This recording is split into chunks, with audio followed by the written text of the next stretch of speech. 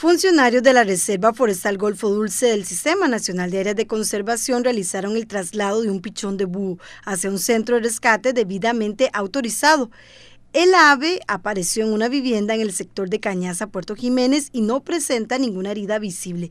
En el SINAC esperan su pronta recuperación y liberación en su hábitat natural.